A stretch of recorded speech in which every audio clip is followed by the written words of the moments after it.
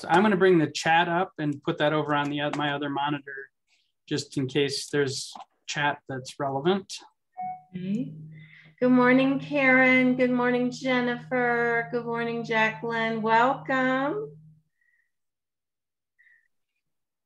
You are muted, Karen. Sorry. I said good morning. uh, where are you from and what do you do? I um, work for I work for Cornell Cooperative Extension of Jefferson County. I work for a Healthy Families um, program. I'm a family educator, and I'm also a Bridges Out of Poverty Life Certified Trainer. Jefferson County, Ohio. What what state? Wa Watertown, New York. New York. Okay. There's, Watertown. There's, there's a lot of Jefferson counties, that's for sure. Yeah, I tried to make you a Buckeye. well, Definitely. Watertown has good stuff going on. Yeah. So Phil, I have a lot of people that um, want to become certified again. Are we going to ever be able to do one of those trainings again? I have a lot of people that missed our certification that you did here, like, I don't know, five years ago in Watertown.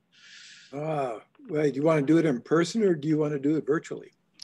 I don't know. I just know I have a, a friend that used to work at our urban mission. I don't know if you're familiar with that. That's where Dawn Cole is now the director. Yeah. now he's working for VAC. Hmm. Um, he really wants to be a certified trainer. He's really he believes in it like I do much. Like I do it on my own time unless I'm doing it for Cornell. Mm-hmm. I've done it. I did it a virtual one this during COVID for um our um um resolution center. I didn't like it, but yeah. I did it. well, I'm sure we can work something out. They, I just know a lot of people that say, I want to be trained in that. I want to be trained in that. Super. You know, That's we cool. offer we offer online certified certified trainings. I have As, I haven't seen it in the emails. Um, yeah, we just sent one out again this morning, but it, we have one starting in October.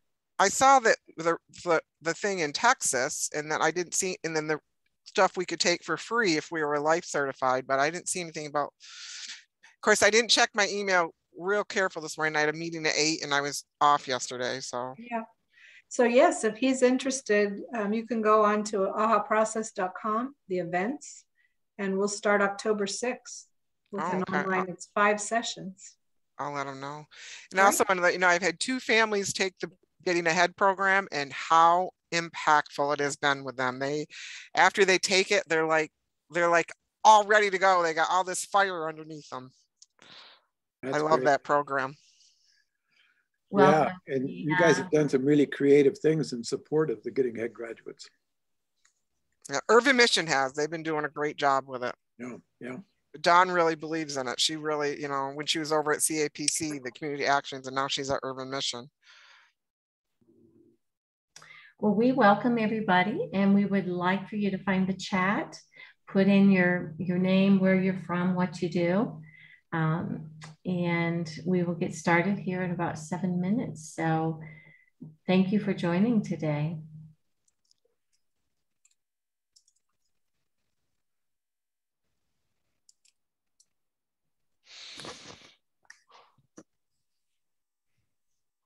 So while we're waiting, uh, Phil, there was, I was, one of the things that we emailed with some folks on your team was the work with the ACEs. Um, what's the status of that? Is that we uh, we have a supplement that goes with getting ahead uh, that uh, introduces ACEs, and uh, yeah, it, it's a matter of becoming certified to do it. So there's a, a, very short certification. Once you're getting head facilitator, you can become a, a person that facilitates ACEs as well. So is it a supplement in terms of like an ebook that goes out or is it an actual another? There, there's a, uh, there's a, a, small manual that goes with it and so, a facilitator guide. So when the people are going through the training, it's an extra little module in training. Mm -hmm. That's okay. right. Well, with all the things going on, uh, there's no no shortage of trauma and toxic stress. I just my heart goes out to the the folks down in Louisiana, and it's just mm-hmm. and now they're saying it's going to be so sweltering hot with no electricity. Not Yeah. not an enviable position. Yep, it's gonna be it's gonna be really hard for a long time down there. Yeah. Welcome, Gene Krebs. Hello, and I'm putting myself right away on mute. Just wanted to say hello, be sociable. I'm still, I've not read my book on Zoom etiquette yet, so I'm not sure how all this is supposed to work, but I'm going to put myself on mute now. Okay, tell us who you are in chat, what you do. You know, that's that that's a whole book. Yeah.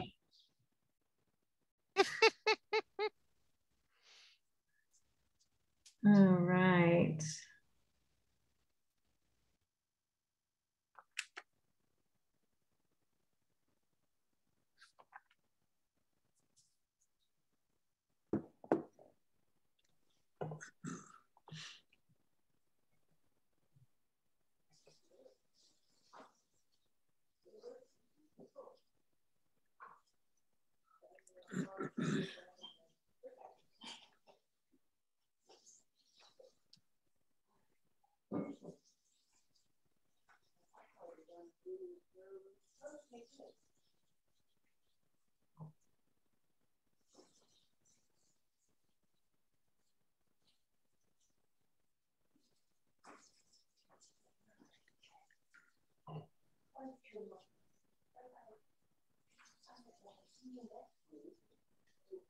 Okay.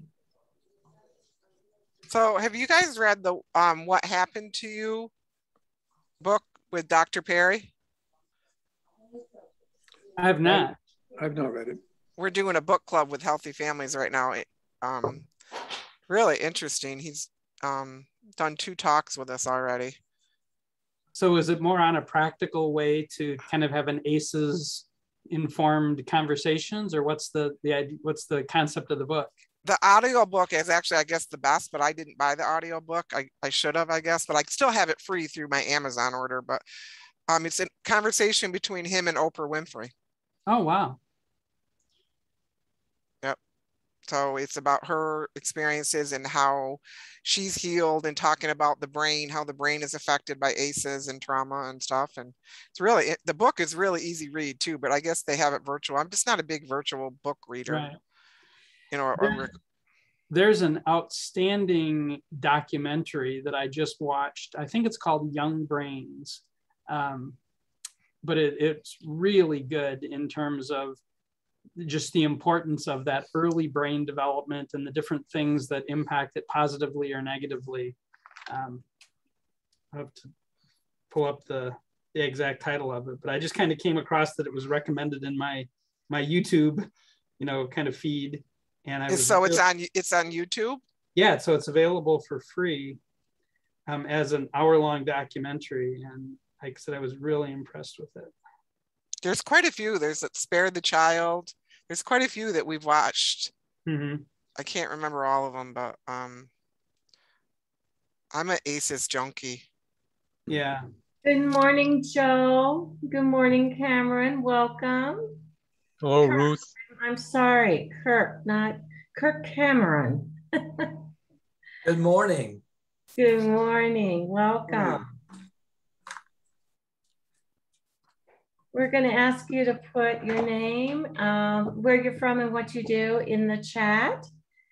And we're going to get started here in two minutes. And when that happens, we want you to turn your um, audio off if you aren't going to be presenting. And then we can turn it back on later for Q&A.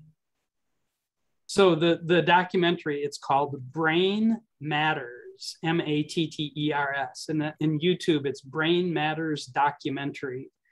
But I'm it's something I'm going to be recommending for a lot of our communities that we work with around ACEs and trauma to do an early childhood development and ready for K to sort of do watch parties and Zoom discussions and different ways to to get people to watch that because I think it does an excellent job of really showing how important it is that we as a, as a society really um, do the things that help the early brain development and that helps everybody in the long run Brain Matters documentary. Good morning, Joe. We'll get started here at the top of the hour. We welcome everybody to this um, discussion about housing.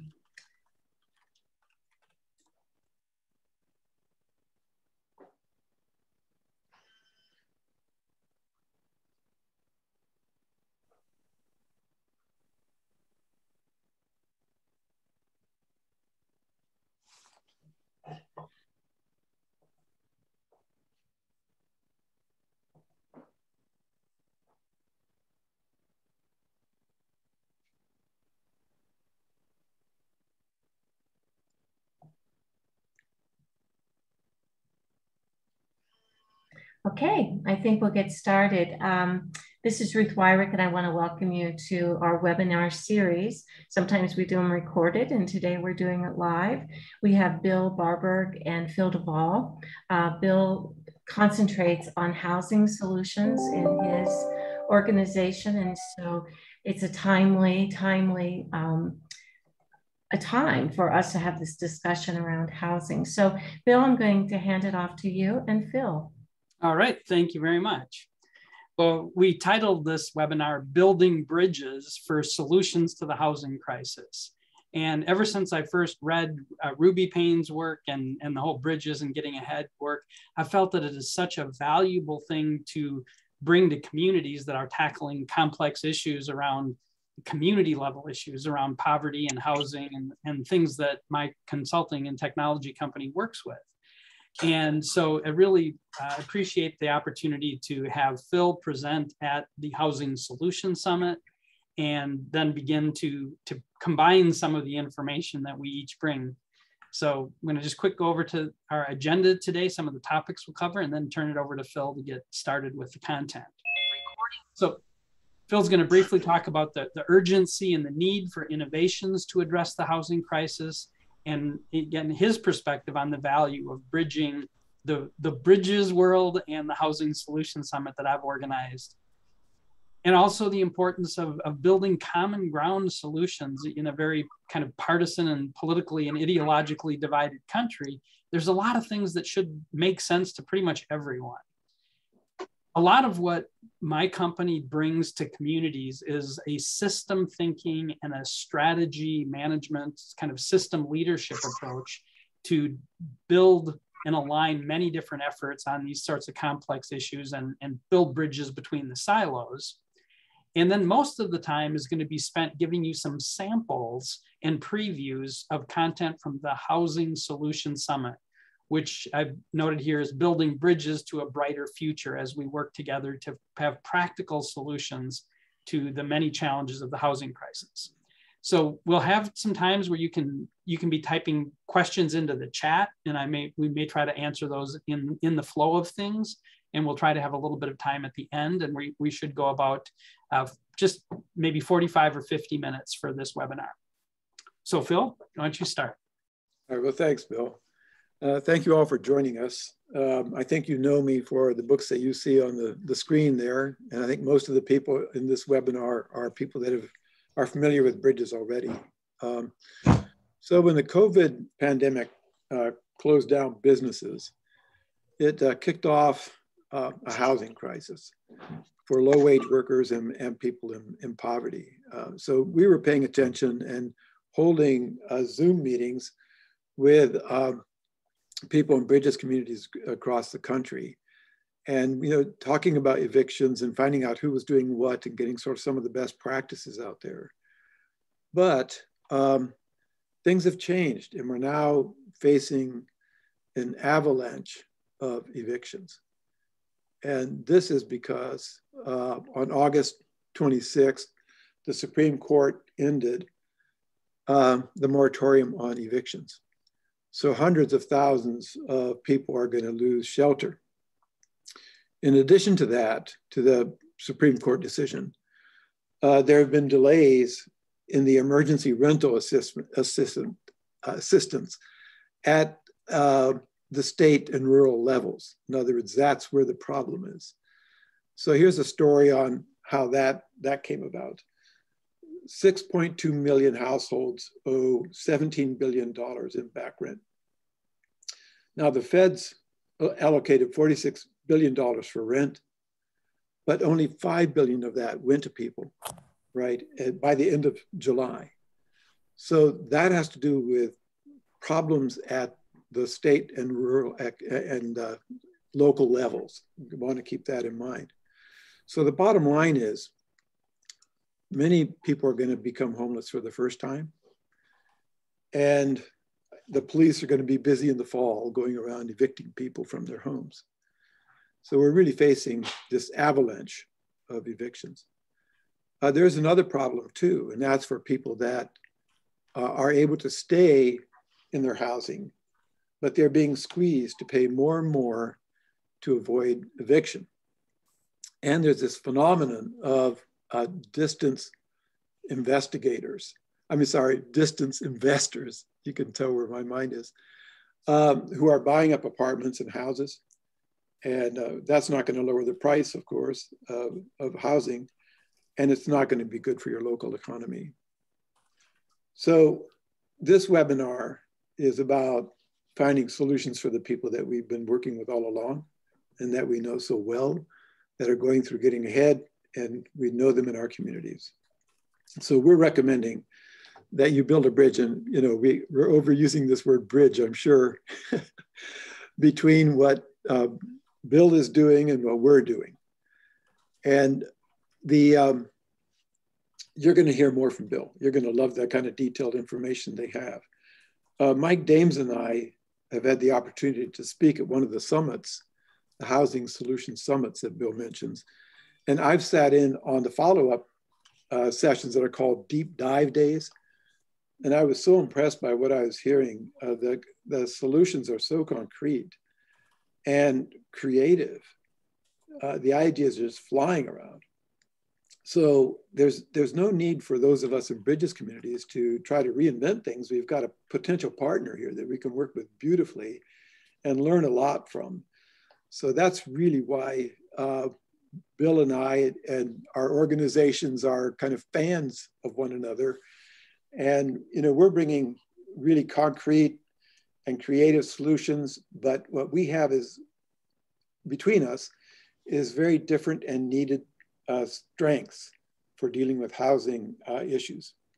And so, you know, we bring this all together and we've got an opportunity to do some really wonderful things. The, uh, the things that we can bring to it, uh, those of you that are familiar with bridges, is that we're really good at bringing people across um, class, race, sectors, and political persuasions. All those lines get crossed in bridges communities. And we're really able to focus on, instead of our disagreements, we can work on our shared concerns. And that's one of our strong suits in the bridges work. So uh, by working together, uh, Bridges communities and the housing solutions folks, we might be able to uh, create some kind of a model. I mean, if you think big and into the future. And I think, think about that while you're hearing what Bill is going to tell you about in the next few minutes. So Bill, let me turn it back to you and um, take us on a journey there. All right, sounds good. Well, um, when one of the, the key challenges that, that we see in many different issues dealing with poverty, housing, addiction, chronic disease is that there's so much fragmentation in efforts to try to help address these issues. And when you've got so many different organizations that are working independently, often competing against each other, it really makes it harder to, to solve problems, even though we have a lot of the resources and tools to do that. And so a big part of what I've helped focus, help communities work on is developing a shared strategy that they can begin to co-align around. And we say there's different levels of collaboration, but just having a framework around these are the different drivers that we're trying to address. And here's who's working on which ones and how we can help accomplish that goes a long way. And I was recruited to write a chapter on the book shown here. This is the book is Solving Population Health Problems Through Collaboration. And I wrote a pretty lengthy chapter on implementing population health strategies that go into the detail, the practical details of how you, you begin to bring people together instead of them all just working in their own little world. And with the Housing Solutions Summit, we have we have what we call an all access pass that I'll share about. But we have an e-learning course. We have multiple sessions, and, and actually the last deep dive day goes into a lot of these practices for how city governments, businesses, the hospitals, the faith communities, and other stakeholders can start to be part of a larger team to really address these, these complex issues. And much like bridges and getting ahead, it, it supports collaboration by introducing, in many ways, a new way of thinking and new concepts, but also a common language that can bring people together. We do that, at, but at a different level. We talk about strategy maps and from to gaps and, and how we can help not launch new programs, but find ways to assist efforts that are already underway as a faster way to get more benefit for fewer resources.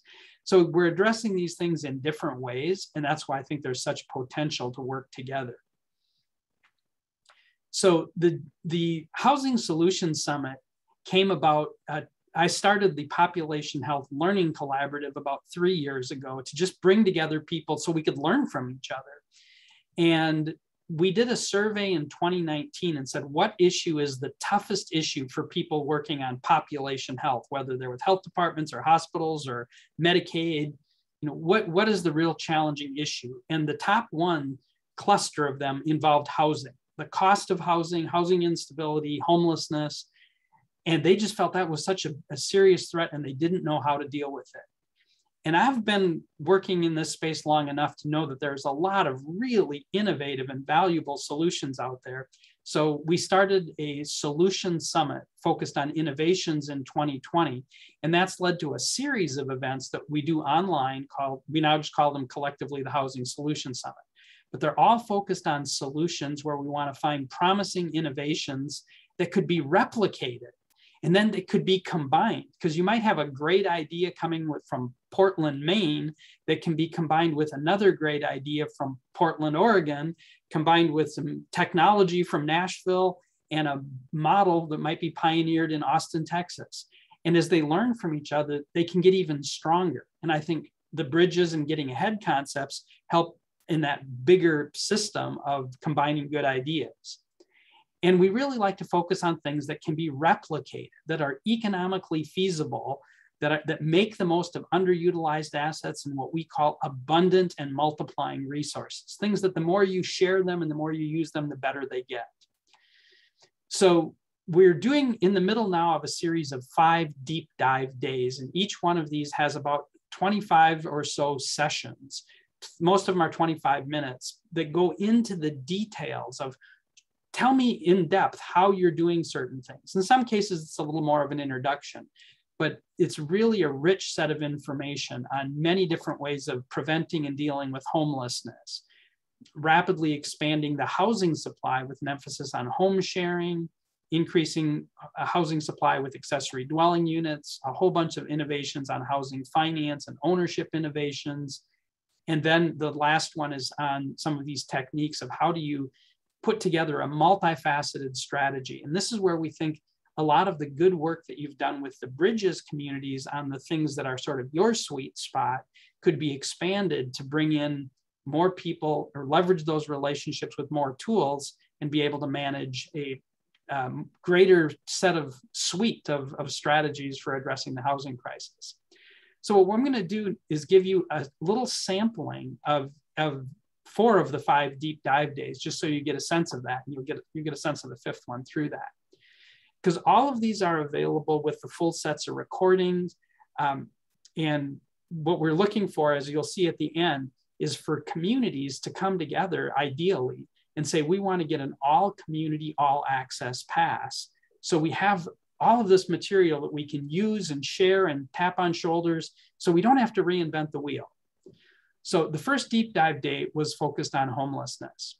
And one of the things that we, we looked at was the huge need for this invisible population of people who are technically homeless, but living in their cars. And when there's unfortunately probably going to be hundreds of thousands of people evicted, many of them have jobs, they have cars, they just couldn't afford their housing. So they'll be living in their cars. And so I want to give you just a four minute little sample that will show a little bit about that particular um, session.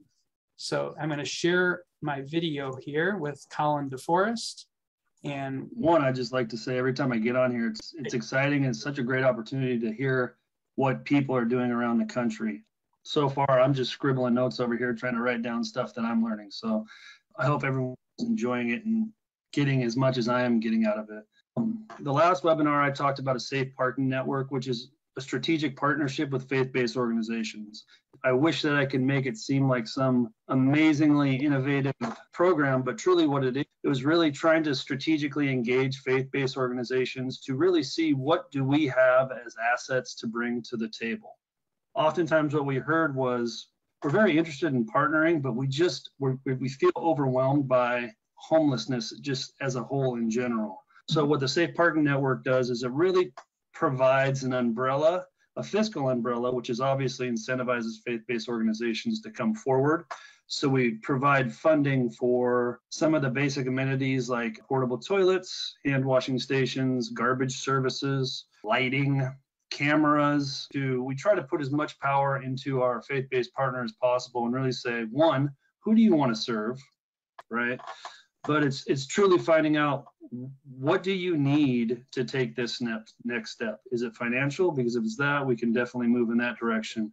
Is it really supportive services like you're you have the parking lot. So once again, it's talking about, as was talked about earlier, what what assets is your congregation, your faith-based organization bringing to the table? Well, we have this giant parking lot, and with COVID, we are not using it. So on a temporary basis, we think maybe we could use this, but our numbers are really low and we have a lot of seniors and they don't think that they're probably not the best candidates to participate in a volunteer really one-on-one site engagement level.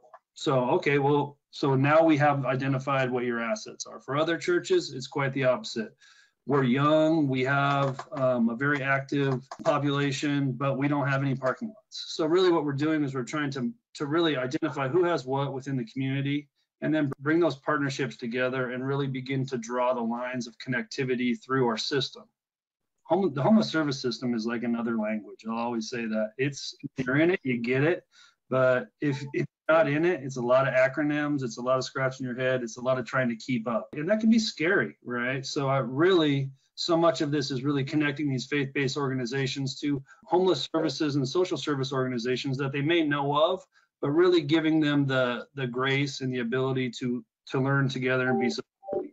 It's a really exciting program. Honestly, people living in their vehicles are truly a invisible population of the homeless population. Um, you have families in their vehicles who are really trying to hide out. You have individuals in their vehicles. You have couples in their vehicles. You have a little bit of everyone. And episodically, you also have a lot of individuals that are fresh into and may not even identify themselves as really being homeless at that point. The ultimate goal is engage, engage individuals, give them a safe place to be, a safe place to stay for a, a, short amount of time, and then as quickly as we possibly can, let's get them out of that vehicle and back into housing. And we've been very successful with doing that. Many of the individuals that we're serving, we're finding are they're working, they're living in their vehicle and working. Um, lastly, I would say Later this week, I have a presentation to a president of a, a community college in our area who we're just we're taking the final steps. I'm going to touch some wood to secure a partnership with them and multiple faith-based organizations once again again coming with different skill sets not necessarily the parking lot but to support this partnership with a community college to serve students living in their vehicles at that college, which I think I think is an amazing model that is probably happening all around this country. And I think if we can support those students living in their vehicles, talk about resiliency, right? Like if we can support those students at that time and really do what we can do to get them into some sort of housing, I think it'll be extremely successful. So that was uh, cutting out or trimming from an hour long session that went into a lot of detail into just some of you know the, the kinds of innovative things that can be done. And what I want to share next is a technique that we use to help support that. And we're, we're working with Colin and his consulting group to really build out the details and make it much easier for communities to get these safe parking networks in place. And this is a little sample of a strategy map where, as a community, you would be measuring and tracking and working to bring about multiple things to expand a safe parking network so you can increase people who avoid homelessness or, or end homelessness by transitioning back to, to housing.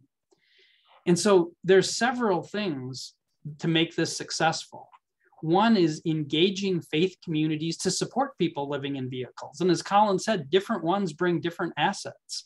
Some might say, hey, we can bring breakfast out so people can leave and go off and get, you know, go off to work with a safe or with a full stomach. Or we others that might be assisting with their work to develop individual success planning. And there's great programs to help people who are in crisis develop a pathway of what things do they need to get back on track. There's different things about outreach to people who are about to be evicted or, or who are living in their vehicles. Because that one week before you get evicted and the three weeks after, that month will have a huge impact on the rest of your life. Whether you lose all your possessions, lose your car, end up with all this trauma, or whether with some care and compassion, you can kind of minimize that, that trauma and get back into housing in 30 or 60 days. Then there's a whole replicating a set of guidelines and supports and how to do things and the frequently asked questions and the paperwork that doesn't have to be reinvented for every community. And then improving what might be in place for resource uh, directories, referral, and community care coordination so that people who are needing to use that safe car parking have um, quick access to the resources to, to get back on track. So behind each one of these, we then help the communities figure out what's the current state, what's the desired state. And so this is some of the process we bring that I think can really enhance community collaboration. So that was our little sample from deep dive day number one. We have recordings of all of these sessions um, that are, are, really inspiring of what communities have done to help address uh, uh, homelessness or evictions. Uh, so that's a little sample of deep dive day number one. So if one of the things you can do, if you have questions, I can't guarantee we'll get time for all of them, but you can type them in the chat. All right, uh, deep dive day number two. Uh, this was um, also done, this was in August, we've completed it. But here we were dealing with the, the real need for um, increasing the supply of housing that is affordable. And we had a whole bunch of sessions in this deep dive day that focused largely on different models of home sharing. Because if you take an example of, a, of King County, which is where Seattle is, they've had a huge housing shortage, a, a huge sh shortage of affordable housing and a huge problem with homelessness. But yet there are 140,000 homes with unused bedrooms owned by people over age 50. So you have a lot of these empty nesters, and the number of those empty bedrooms is growing. So the question is, how do you leverage those? How do you make the most of those? And I'm an empty nester. And when my uh, daughter went off to college, we decided we would rent out a room. And one of the people we rented to for a few months was James. He was a recent college grad, and it was a, good deal for him. He saved money and he had use of, of a house and could you know, borrow our bike and different things. And it was a win win for us because it helped pay some of our mortgage. Well, when we started doing it, it was money we put towards our daughter's um, college education. And we uh, then have also just used it to help pay down the bills.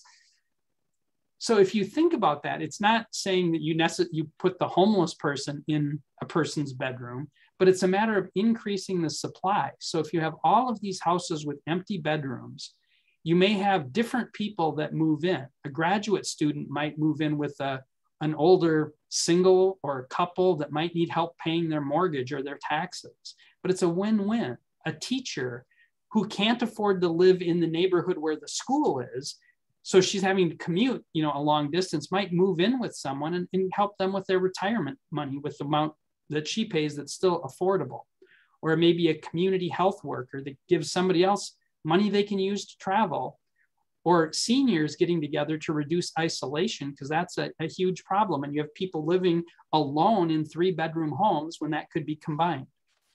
But each time someone moves into one of those bedrooms, they're not taking up an economical apartment.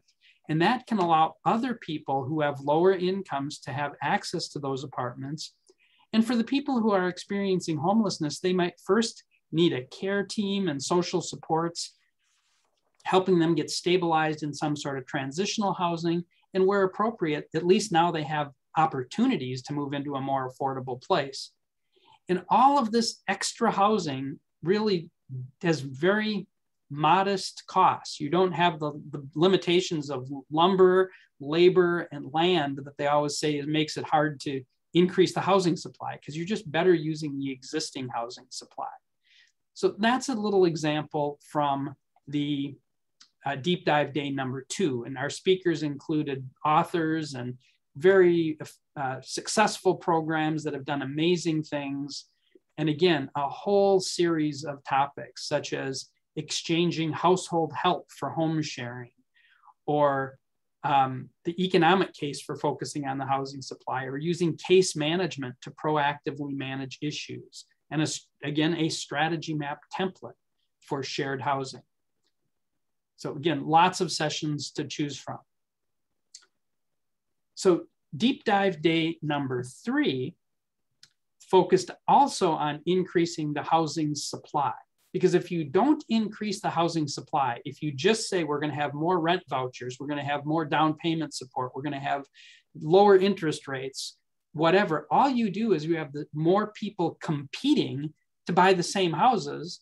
That drives up the price. If there's more people desperately needing rental properties and they pay more, that means rental properties become more profitable. So investors buy them up and raise the rent.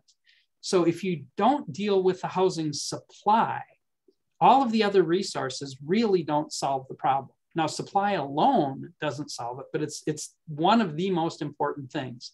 And so that's why we had two days focusing on how communities could do that. And the deep dive day number three, which is one we're hoping you can rally some of your community partners to participate in, focuses primarily, not exclusively, but primarily on accessory dwelling units, uh, but also expanding single family homes to duplexes and the zoning and other things. It's not a trivial thing to do, but it's a, it's a wonderful solution. And this happens to be kind of the Google aerial view of a neighborhood uh, just a couple miles from where I live. And it's fairly typical from a lot of the neighborhoods that were built in the 50s, 40s, 50s, and 60s where if you see here, we have the street, North Sheridan, and over here we have Russell. And in the middle is an alley. And so all of these houses face the streets. They've got their front, there's the sidewalk in front of the street, there's the sidewalk going out to the street. And the houses are closer, the front yards are relatively small as they face the street. And then you have all of these long, narrow backyards. And a lot of them have garages, um, and uh, they're largely underutilized. They're parking, garbage cans, but these are properties that could benefit from having an ADU in the backyard. Many of them, they'll build a big storage shed. Well, you can have an accessory dwelling unit, essentially like a, a 400 or so, 500 square foot backyard cottage. And that can be rented out. There's a lot of different ways you can do that or you can replace a garage with a garage that has an apartment up above it. So you still have two or three cars of parking, but you have an additional housing unit. And this is good. It, it much cheaper, much less negative impact on the environment and the climate because you're keeping people where closer in, it's not urban sprawl. You're making good use of existing streets and water and sewer. And we actually go into 18 different models where that can work. And one of those, just to give an example, is if you have an older person in, say, a three bedroom home, very common, you add a $90,000 accessory dwelling unit. So, for the cost of that $90,000 dwelling unit, you now free up this home to rent out to someone. But it's owned still by an, a local person, not by a distant landlord from Los Angeles or Hong Kong or Saudi Arabia. It's owned by a local person so that rent money stays in the community. The owner is now living in a brand new senior friendly accessory dwelling unit in her own neighborhood she can kind of keep keep tabs on the, on the house but may have a nonprofit helping them with the rental details and in this gain sharing program, the, the people who are the renters could have an agreement that if they help with doing property upgrades and, and help with some renovations, which they could be supported by the broader community, they can actually begin kind of earning sweat equity towards a down payment or do a rent to own over time. So it gives them a pathway from renting to home ownership which works out in everyone's best interest. The appreciation, if the home value or the neighborhood gets better, that wealth goes to the owner and the renter and it stays in the neighborhood rather than going to some distant investor. The city gets more economic value and taxes to help uh, pay for their infrastructure. You're reducing carbon emissions, you're reducing transportation time and traffic because these are in this, the city where you tend to have more jobs and stuff and the neighborhood is enhanced because you have ownership. Now, Bill, could I interrupt just a second? Absolutely. Yeah. Okay. So I live in a in a township that isn't zoned. Uh-huh. And we're literally working on zoning right now. Now, the kind of things you're talking about, zoning has to be a part of adding these dwellings. So what do you do? Yeah, so to do this in this ideal manner, it takes a bunch of things. This, what I just shared, is illegal in most cities, but it shouldn't be. And there's a new bill working its way through both the Congress, both the House and the Senate, called the Housing Supply and Affordability Act, which is providing, if and it should pass, it has bipartisan support in both both the House and Senate provide money to local governments so they can fix their zoning. Because a lot of the zoning was done in the 50s, 60s, and 70s as a way to essentially keep people of color out of neighborhoods and to keep poor people, you know, in poor neighborhoods. And I think most people recognize that's not a good thing. There is part of the, the challenge though is, is navigating the, the neighborhood politics of that. But this type of scenario works really well and that's why we have a strategy map. The strategy map lays out all of the different things that you would ideally do to create a thriving ADU, accessory dwelling unit, ecosystem. And we go through all of the many benefits, how it's increasing income for the homeowners, increased wealth building opportunities, increasing the supply of small affordable rental units, and increase good housing options for seniors. And in the deep dive day, we go through 18 different scenarios. And we actually do that in the free webinar that I'll show you in a moment. But to, to make that happen, there's the need to improve awareness and understanding of ADUs, address the zoning and code issues and parking requirements and building setback and all these other things that cities have put in place, but they can change. There's a whole bunch of things to reduce the cost of building ADUs to improve the financing and funding options for ADUs. And if you're going to have, say, a senior that's going to suddenly be a landlord for her, her home, or a person who's going to have a renter in the backyard in their ADU, there's support that can streamline that. So they don't have to be the property management firm, they're just providing the space and also the ability to build in telehealth and assisted living support services because we're going to have a huge need for housing for an aging population. And rather than put them into congregate living facilities where my dad went in march of 2020 and i couldn't visit him in person for a year these type of distributed assisted living can be done with the support of telehealth and with nonprofits but have people in their own um, own little unit and again, there's ways you can balance the social connection uh, with um, more options, but it lets people gives more options for people to age in place in their neighborhood. So you don't have to do all of these things, but the more of these things that are done, And within many of these, we've got a plus that we can zoom in and say there's lots of different ways to reduce the cost of building ADUs. And we have sessions to show examples of many of these things. So it can feel a little overwhelming, but the good news is there are all of these practical things that can be done that can really help address the housing crisis in a way that builds the neighborhoods, the local economies. But they won't happen if you don't do a lot, if a community doesn't come together and say, here's our strategy. Let's make sure everyone's on board with it, or at least the vast majority of people, because it builds ownership, local wealth. It, it, it has many benefits if people understand it. And again, so we have many different sessions, how suburban upzoning and densification can benefit everyone. Um, you know, a strategy map, what I just showed you, going into the details of that.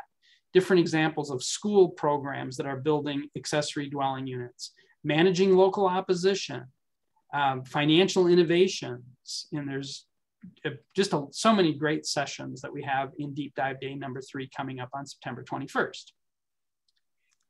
Um, Deep Dive Day number four has innovations in housing finance and ownership models. And this is coming up on October 19th. And we have a webinar, but roughly one month before each of these sessions, we do a webinar that goes into more of the details. Um, so that's coming up on September 23rd.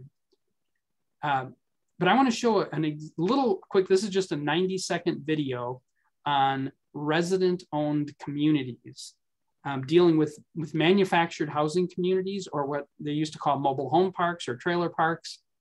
And this is an example of a model that's been replicated over 280 times across the country and 100% success rate.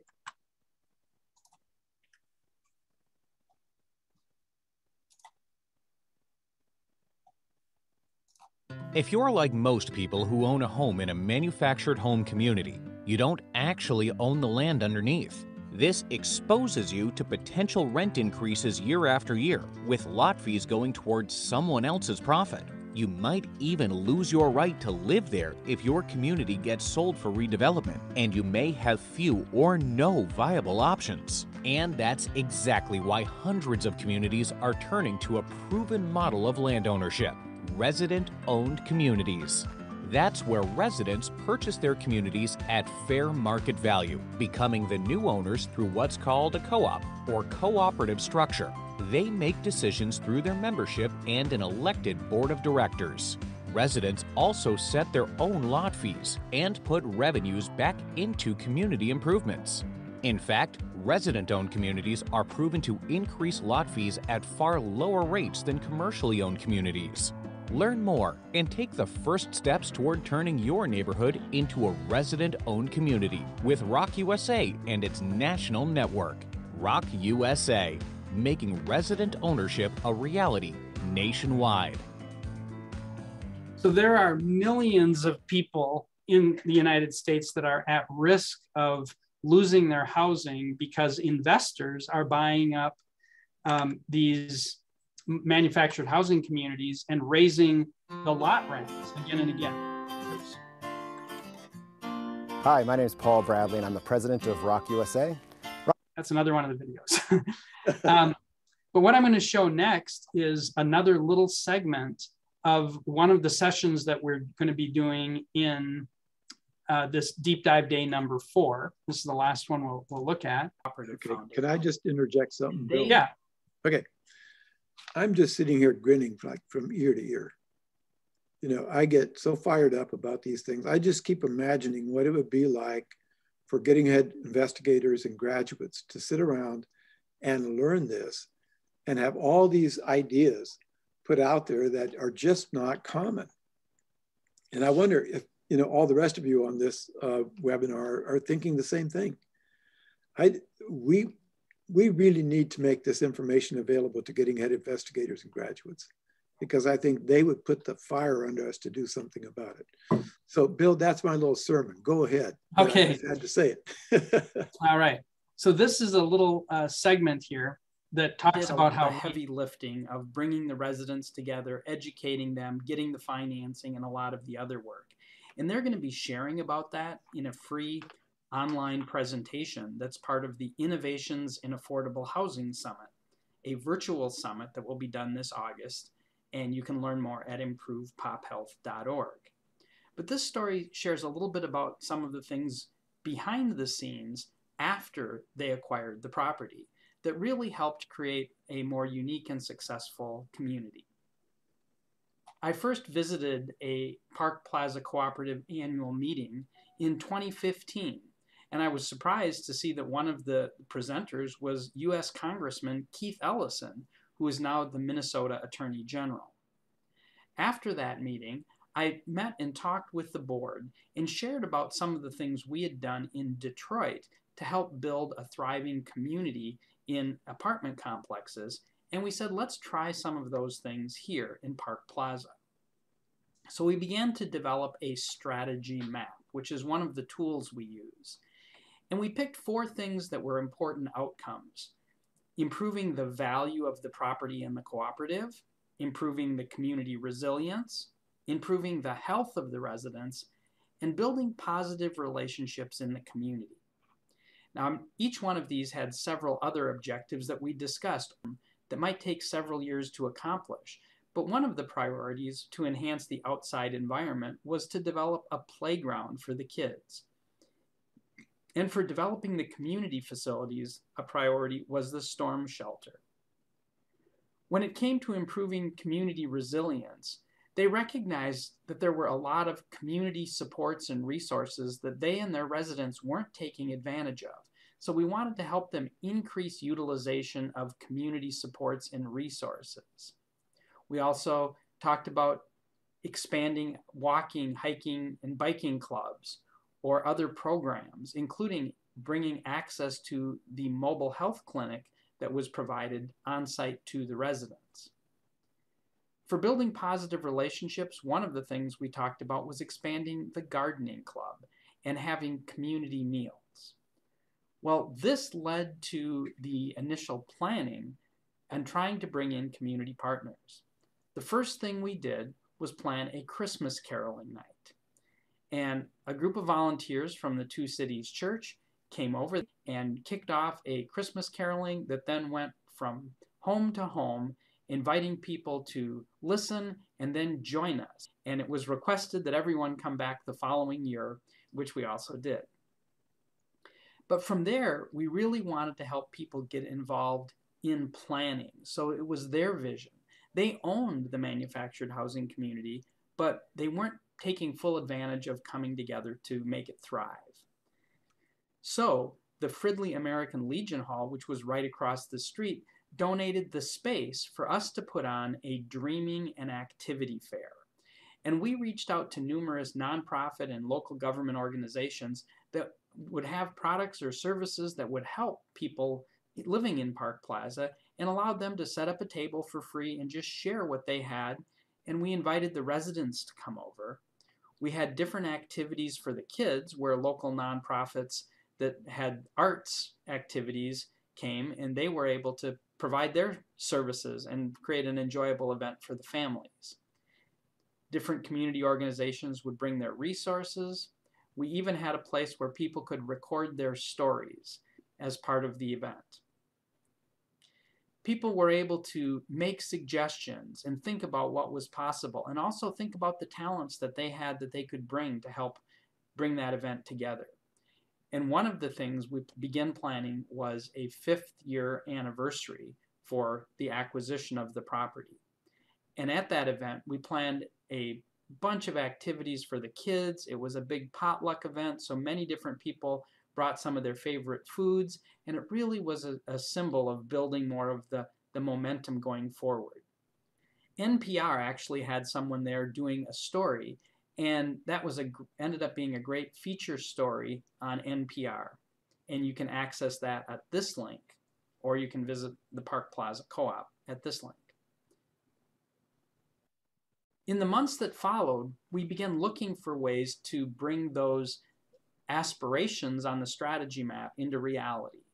And we looked and found there was a simple grant program for doing small community gardens called Garden in a Box. So we applied for that and received the funding so we could begin the gardening program.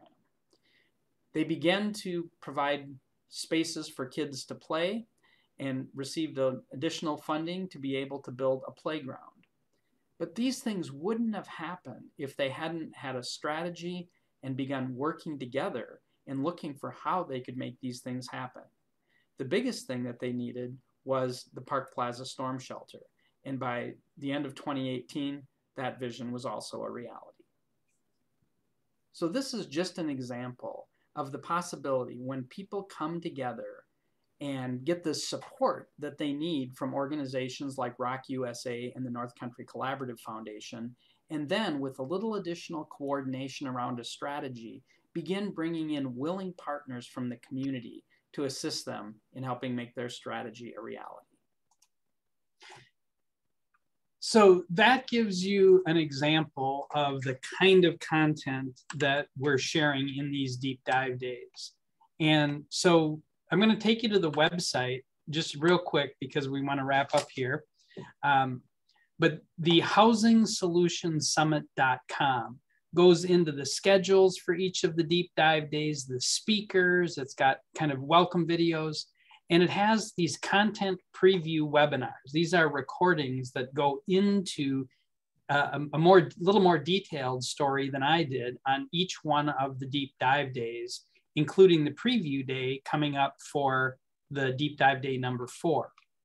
Um, we have different passes that people can get. Um, they have different ways of getting an all community, all access pass or individual passes. Um, each one of these is separate, or you can get a pass for all of them. And what we really want though is for like the United Way, the mayor's office, the hospital to come together and um, choose to get their passes. And I'm just going to show, we've tried to make it very affordable. We have a free sample pass that lets you just get any one um, session, which is people get a little frustrated because they'll listen to one and they're like, now it says I'm locked out of the sessions. Well, it only allows you to get one. But we have one day passes, we have individual all day access passes that would give you a bunch of additional benefits. But what we're really hoping for is to talk to your community partners, have them see some of these webinars and have them get an all community all access pass, which is a coupon for up to a hundred people to attend for free at no cost. And this is for all five days, um, 100 people. So then you, you can invite people from the faith communities, from others, and they don't have to pay anything but they can come together. But, but we're trying to keep this as economical as we can, but still we don't have any sponsors and we need it takes a lot of work to put these things together. So we're trying to get a lot of volume. So spread the word about the housing solution summit with your local government leaders your homeless coalitions your health departments. Then participate and see how you can help do these things that that remove the obstacles that would otherwise be there and as I mentioned, it's likely that in next year there will be money starting to come available from the Housing Supply and Affordability Act that will help hundreds and hundreds of communities get funding to put together strategies and plans to change their zoning and various things. Because the this bill and Amy Klobuchar is one of the sponsors um, said that you know recognizes that communities have to get together fix zoning, fix coding, work on financing, bring people together, and that takes time and money. So this gives money in these uh, competitive grants, but they're they're planning 300 million dollars a year. So there will be lots of these grants, but you still have to you know apply for them. And so participating in the Housing Solution Summit is a great way to really help your community change the ecosystem and the environment.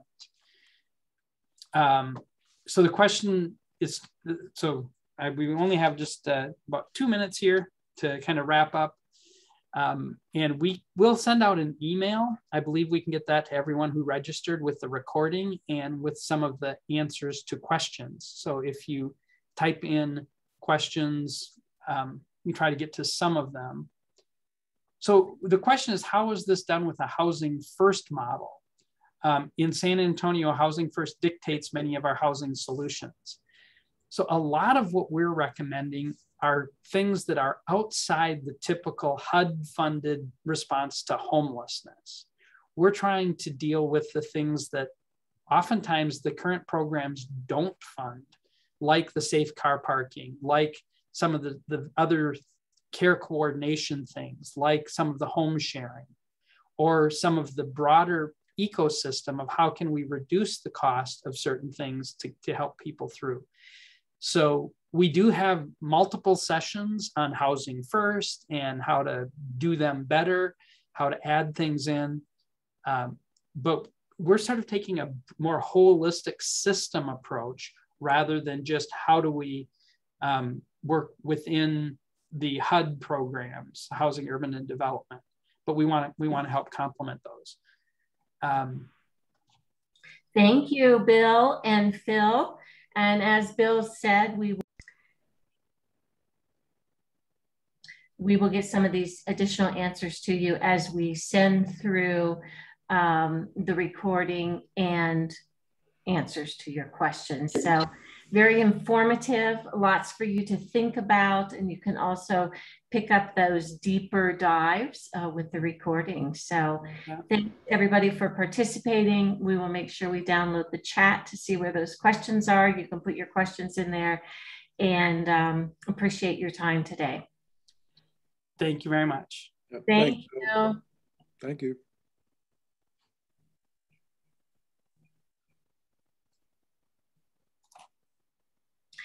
Uh, you will get a copy of the video. You will get a copy of the video.